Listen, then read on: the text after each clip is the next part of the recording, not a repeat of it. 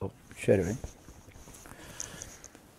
Ja, norsk politi er en historie som eh, få tenker over, men eh, alle er berørt av det. Og hvordan vi berøres av politiets myndighet i samfunnet, det avgjøres fortløpende, kan det virke som.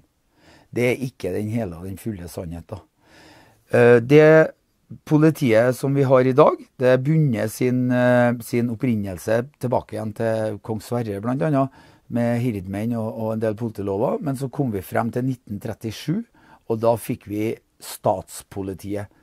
Da ble det, da ble det mer staten sin oppgave. Og etter krigen så ble det jo helt fullstendig statspoliti, da. Eh, det som er å bemerke seg, det er at på politiets hjemmesider så står det at eh, etter krigen så ble mange dømt og fjerna fordi at de var jo nazipoliti. Det er feilinformasjon. Eh, veldig mange av dem som var politi for Hitler-Tyskland, var også politi for den norske regjering som tok over i etterkant. Og det andre som er interessant i 1936-37, det er politiet fikk et nytt emblem. Og dette kan da ses i sammenheng med resten av landet òg. Vi fikk eh, helsevesenet med personnummer. Og så fikk vi politiet med nytt politiemblem og nytt mandat. Det ble da ikke lenger kommunen sin eller byen sin oppgave å ha lensmann. Det, det ble staten sin oppgave å lønne og ordne med, med instrukser til, til, det som kalles politi i dag. da. Og det de innførte uh, da, det var et riksvåpenet vårt. Uh, det røde skjoldet med, med løver, med, med øksa og kongekrona. Det er jo riksvåpenet som brukes i retten og overalt i mange statlige etater. Men ved siden av riksvåpenet, i politiemblemet, der er det to buskkvaster med øks oppå toppen. Dette er et romersk fascistsymbol. Eh, Farsis symbol det symboliserer at enten så er du innenfor buskkvasten, og der har vi internjustis, eller hvis du er utenfor eh, Det er sånn ofte kalt sivilborgere, spesielt i de lukkede brorskap i Norge, da, så kaller de eh, vanlige folk som meg og deg, kaller de sivilborgere, mens de kaller seg borgere sjøl. Så hvis de da er innenfor denne buskkvasten, da, så har de egenjustis der. Men utenfor så bruker de øksa. Og det er obey. Hvis ikke så tar vi livet ditt. Eh, og politiet eh, hadde i utgangspunktet en misjon om å være til hjelp for de svake og de undertrykte. Og det tror jeg faktisk er korrekt svar ennå på eh, opptak til Politihøgskolen. Eh, men sannheten er at etter Utøya så fikk vi nye mandat. Både til Forsvaret og til politiet, men spesielt berører det oss i form av politiet. For, eh, for uh, nå fikk vi plutselig en ny politilov som ga politiet utvida mandat. Det ga dem mandat til å arrestere deg hvis du ikke har godkjent legitimasjon. Uh, det gir deg myndighet til å gi deg bøter hvis du ikke gjør som de sier der og da. Går du på veien, møter en politimann, så befaler han deg om å gå på andre sida av gata. Så sier du nei, jeg vil gå på herre gata. Så har du da brutt eh, Der er det 6000-8000 kroner i bot eller noe sånt for å gjøre det. Og i tillegg så har da politiet fått som mandat å ivareta regjeringens interesser og næringsinteressene.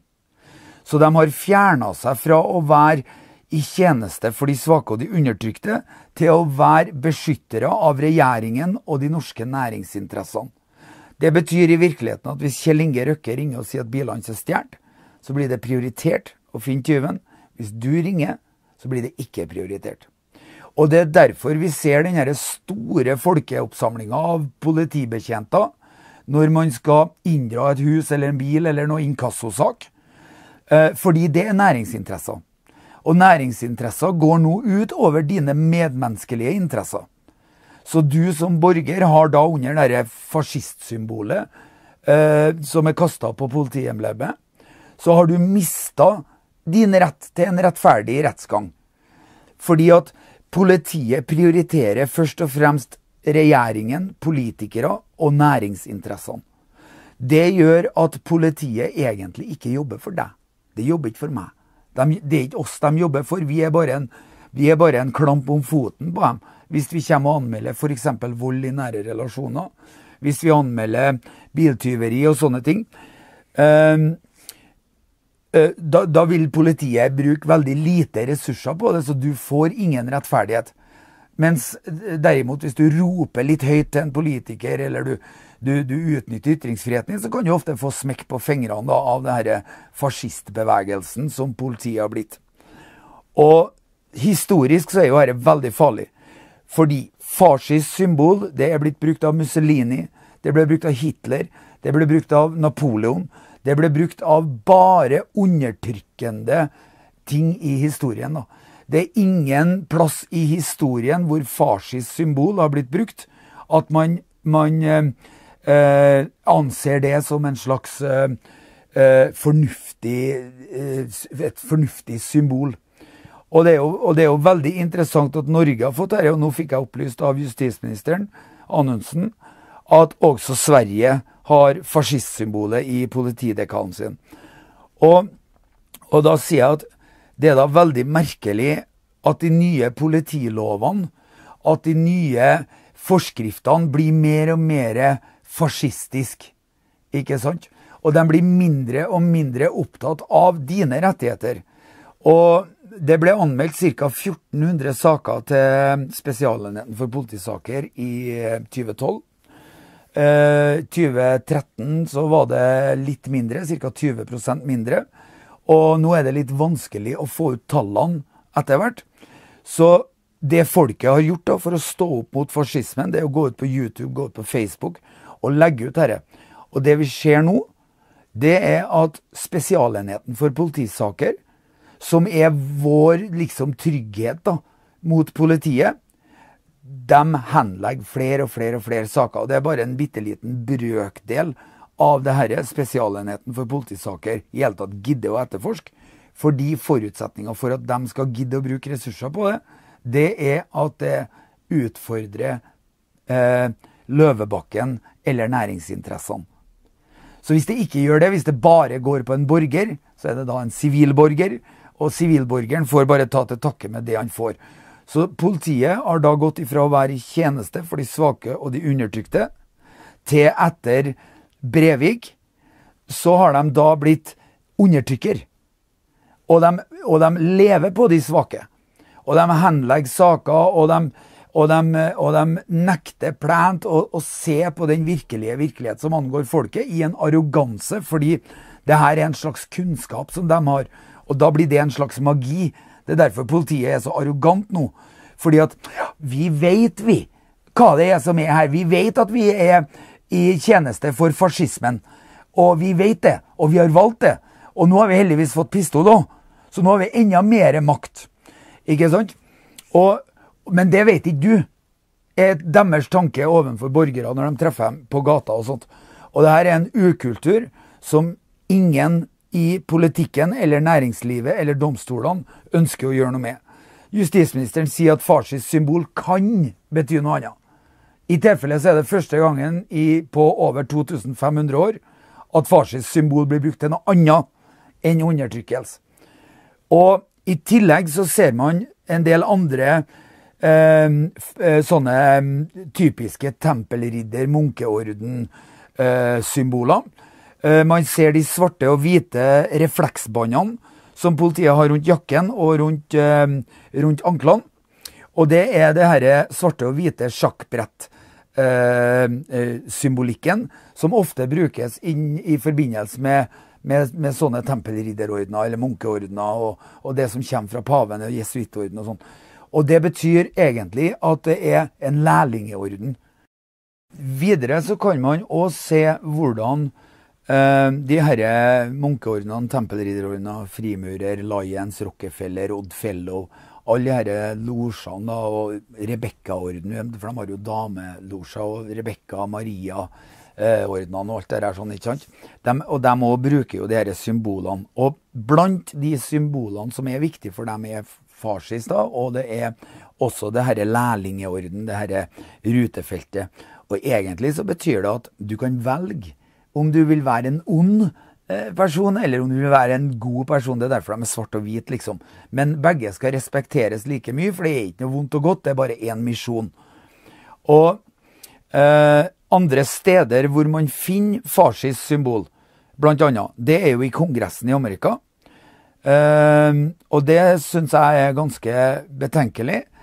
Eh, spesielt nå, fordi nå sier de her folkene at pga. terrorismetrusselen, trusselen for at Skybert har fått bombebelte, den er så stor at nå må vi til og med væpne oss. For det første så lurer jeg på hva skal den 9 mm gjøre imot et væpna ISIS-angrep? For det andre eh, så, så, er det jo ikke snakk om noe krig her. Ikke sant? Altså Hvis det Skybert med bombebelte skulle dukke opp på Indre Snåsa, så tar det fortsatt en time før politiet klarer å nå frem dit. Så hva de har tenkt å gjøre der med den lille glokken sin, det vet ikke jeg. Så glokken er der for å skremme meg og deg. Den er ikke der for å beskytte oss imot terrorisme. Og her har man den standard politikken som er blitt brukt siden 1936. Og det er problem, reaksjon og løsning. Og la meg gi et veldig enkelt eksempel som burde være fersk nok i de flestes uh, sinn. Uh, Siv Jensen, Erna Solberg, Jens Stoltenberg, Jonas Gahr Støre og de fleste andre politiske lederne de sa vi er nødt til å bombe og gå til krig med Gaddafi. Og på ei uke så klarte vi å mobilisere masse skip, masse fly og alt mulig dro nedover dit, bomba et velfungerende afrikansk samfunn, sett i, med afrikanske øyne. Et velfungerende afrikansk samfunn. Bomba tilbake til steinalderen. Laga massiv kaos. Og nå flommer grensene over med, med, folk som flykter derifra, for det er jo ikke liv laga nedi her. Fordi at vi har laga så mye kaos. Så nå sier de samme politikerne som sa ja, vi vil ha das krig, de samme politikerne sitter nå og sier vi har et problem, så innen 1. august skal vi sende et skip nedover, da, som kanskje kan plukke opp en og annen av de her, her folkene som desperat prøver å komme seg ut av den elendigheten som vi har laga. Samtidig så må politiet forberedes. For hva er det som kommer her nå? Det som kommer, det er mennesker som er sinte på Norge. For de er klinkende klar over at Norge bomba barneskoler, de bomba de bomba eldreboliger, de bomba hva som helst. De bare slapp vilt. Fordi Europa og USA og Canada de har det som kalles for en krigsøkonomi. Altså, de ansetter politifolk med utvida myndighet.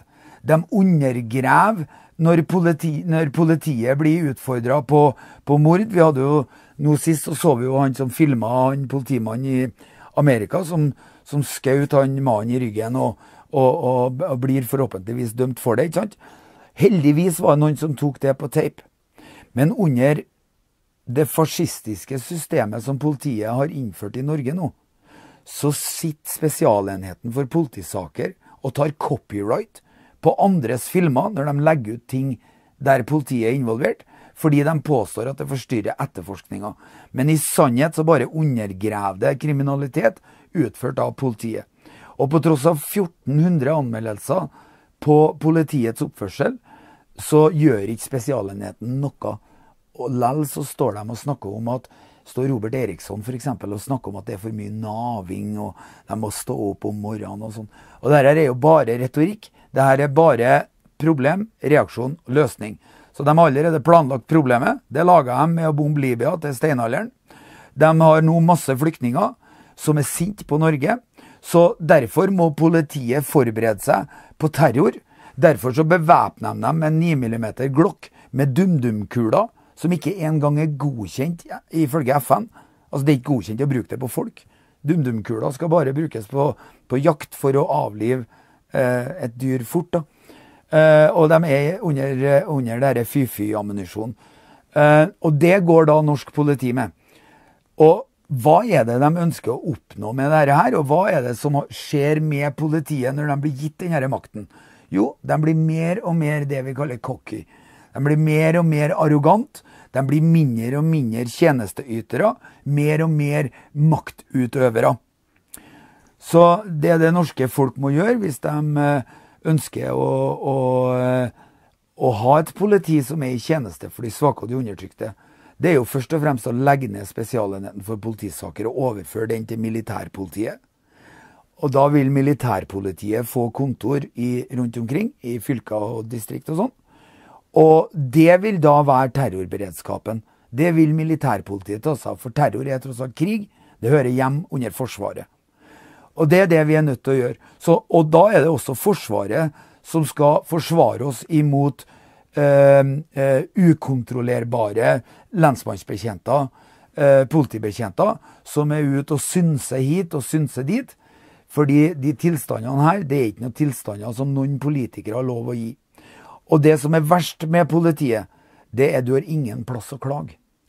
Uh, uh, Nadia i politiet, uh, altså som sitter i, i, i justiskomiteen, hun svarer ikke på henvendelser fra Hun er leder der da, i justiskomiteen. Hun svarer ikke på henvendelser fra folket, hun. Fordi at justiskomiteen behandler bare saker fra Stortinget. Justisministeren eh, tar heller ikke imot informasjon om ulovligheter som foregår hos politiet, fordi han blander seg ikke inn i enkeltsaker, med mindre det heter mulla Krekar. Og, og, når man da anmelder til Spesialenheten for politisaker, så får man beskjed om vi har tatt en telefon og funnet ut at vi ikke skal granske saken. Og rettsvesenet ligger jo under det samme symbolikken. Det ligger under det samme åket som, som uh, det herre eh, tempelridderske, jesuittordenbaserte eh, styresettet som er med å bestemme hva politiet skal gjøre og ikke. Det finnes heller ikke noe særlig mye advokater som vil ta på seg dette her. Og dermed må, kan ikke vi si at vi har rettssikkerhet. Rettssikkerheten er gjennom Brevik og bombinga av Libya og, Irak, og det begynte jo i Bosnia, ikke sant. Eller i Jugoslavia, da. Vi var jo de første ut til å bombe der òg. Eh, og det begynte jo der. Og så rettferdiggjør vi dette med at ja, vi sender jo politi til Afghanistan. Vi sender jo politi for å prøve å hjelpe liksom de og de styrkene. Eh, sannheten er nok en helt annen.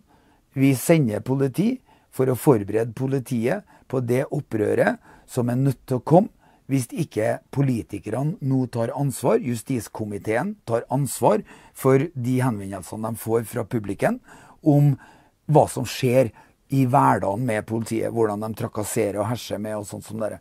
For i sannhet så har politiet ingen myndighet til å fortelle meg at jeg skal gå verken hit eller dit. Det er ikke, det er ikke det for, det er jo selvfølgelig folkeskikk å ha seg ut av veien hvis det er en politimann holder på med en jobb. Så skal man ikke forstyrre politiet i sitt, i sitt vanlige arbeid. Det skal man ikke gjøre. Og det er det loven er ment som. Loven er ment som at politiet kan Hei, nå må du gå vekk her, vi prøver å, å, løse en sak. Det er jo det loven er ment som, men så misbruker de det til, til alt mulig uten kontroll. Og det kommer de til å gjøre med pistolene. Det kommer de til å gjøre med bevisførsel. Uh, uh, vi som jobber litt med det frie TV, da. Vi som ikke er med å dekke over de her politigreiene, sånn som de store mediene i Norge er. Uh, vi opplever jo fort at vi får mange henvendelser fra folk som både har film og opptak og lydopptak og alt sånt av politi, som, som, som helt klart bryter det vi borgerne oppfatter er politiets ansvarsområde og oppgave og plikt. Og, og ehm, det er lite vi får gjort med det, annet enn å formidle det til folket. Og hvis ikke folket nå tvinger politikerne til å få fjerna dette fascistsymbolet, og da må de være ærlige og si ja, det her ble innført av Rockefeller. Eh, I forbindelse med Samtidig som vi registrerte alle med personnummer og alt sånt. sånt der, sånn. Det, de her registreringene det skjedde samtidig, og her er det en agenda. Og, og det er jo flere politikere nå da som snakker om den nye verdensorden. Og den nye verdensorden den er ikke ny. Og det er i hvert fall ikke orden. Det er helt sikkert. Og hvis ikke vi klarer å begynne med å få politiet ned på landjorda og tilbake igjen i tjeneste for de svake og de undertrykte, og så kan militærpolitiet ta seg av trusler fra terrorister og anmeldelser fra folket mot politiet, så vi får separert de to avdelingene. Hvis ikke vi får gjort det, så vil ikke ha noe hensikt verken å ha den ene menneskerettigheten etter den andre, fordi det koster deg 250 000-300 000 kroner å bare få begynt å nøste i en sånn, sånn, sak der politiet har forgrepet seg på deg. Og det folket må følge med nå, det er de situasjonene hvor politiet bruker byråkrati og penger som våpen imot individer. De bruker byråkrati, lang saksbehandling, de, dag, mann, økseskaft. De svarer ikke på det det blir spurt om. ikke sant? Og det samme gjør departementene. Det samme gjør Justisdepartementet, det samme gjør justisministeren. Fordi etter den nye politiloven kom på eh, Hvis ikke jeg tar helt feil, så var det vel eh, på 70-tallet en gang, tror jeg. Så ble jo all lokal påvirkning av politiet det ble da fjerna. Politiet ble helstatlig. Vi fikk ikke lenger det her lensmannssystemet hvor lensmannen betalte eget kontorhold. Og eh, når det systemet trådte i kraft, så, så, betyr det i realiteten at vår egen sjølråderett over politiet er blitt begrensa. Nå har vi riktignok noe som kalles for Politirådet. Eh, jeg prøvde å ta kontakt med dem for å komme i samtale med ordføreren, som også er representant i politirådet eh, angående en sak som jeg mener er basert på misforståelse og feiltolkninger. Og det var ikke noe enkel sak å få komme inn med din stemme i politirådet heller. Og hvis du ikke har mulighet til å fortelle din side av saken til politirådet, du har ikke mulighet til å snakke fornuft med politiet. Du har ikke mulighet til å snakke med statsadvokaten, riksadvokaten, eh, justisministeren, justiskomiteen, Justisdepartementet. De har ingen reaksjoner. De har ingen reaksjoner på noe. Så hvis folk i Norges land sitter og tror at de har rettssikkerhet i forhold til politiet, glem det. Farsis symbol betyr, hvis du ikke godtar at vi driver mordforsøk med penger som våpen på deg og din eiendom, hvis det passer oss, så har du et problem. Og det må det norske folk forstå, sånn at vi får en åpen og ærlig debatt om hva vi vil ha politiet til. For det er til syvende og sist rørleggere, elektrikere, bønder, fiskere, eh, kontorister. Det er til syvende og sist lærere. Det er til syvende og sist dem som betaler for det herre det herre vesenet som skal være her for å beskytte oss.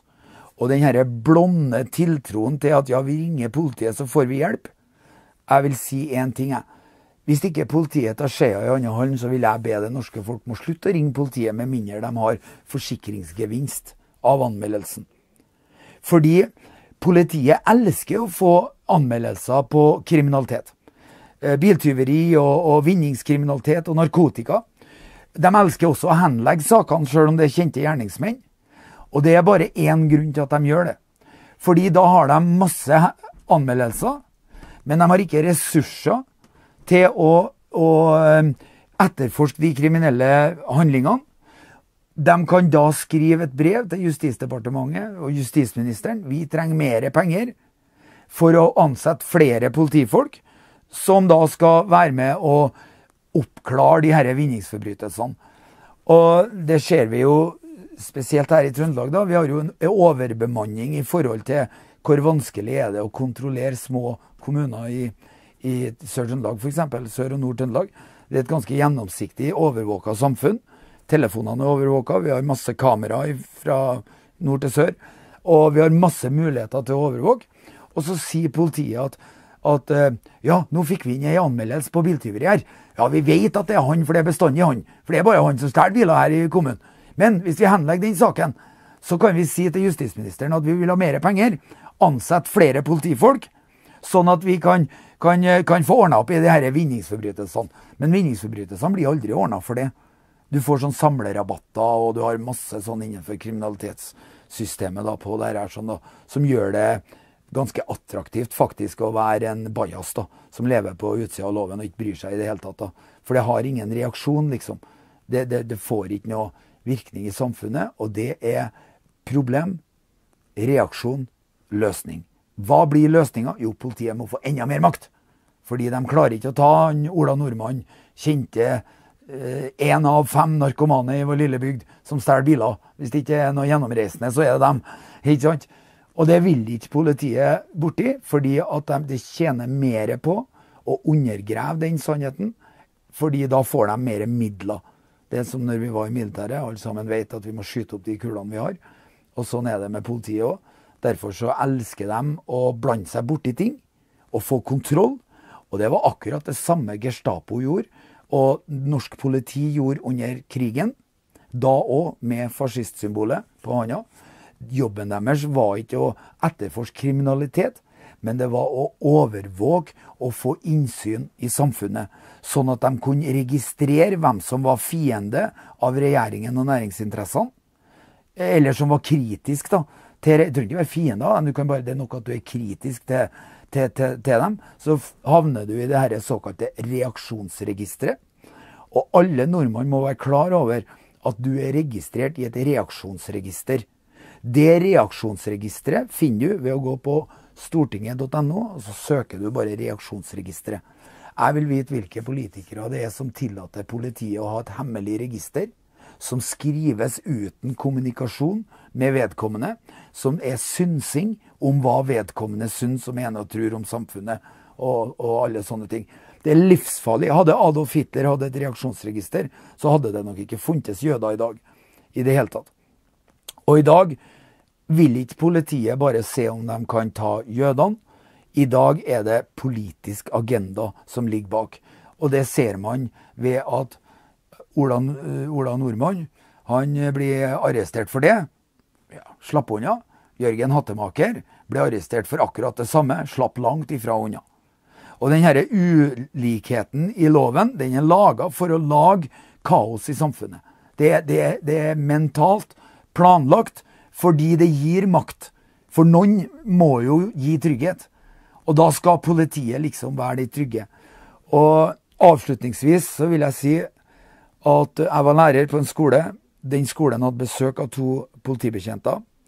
De virka jo greie nok i seg sjøl. Eh, de skulle da presentere politi som yrke. Og de presenterte da politiyrket som følger.